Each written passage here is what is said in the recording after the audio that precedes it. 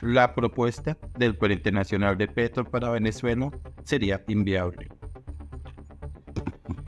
Por confidenciable semana. La propuesta del presidente de un Frente Nacional para Venezuela tiene mucho de delirante. El mandatario le quiere dar un salvavidas a Maduro y por eso se lanzó a promover unas nuevas elecciones y a pedir una amnistía nacional e internacional.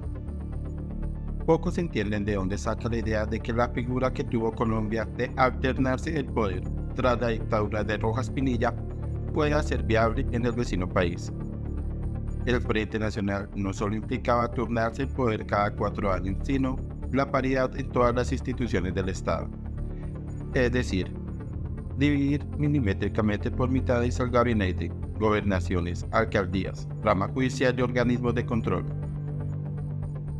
¿De verdad ve posible que el dictador pueda dividirse el poder con la oposición liderada por María Corina Machado? ¿Quién sería el primer presidente?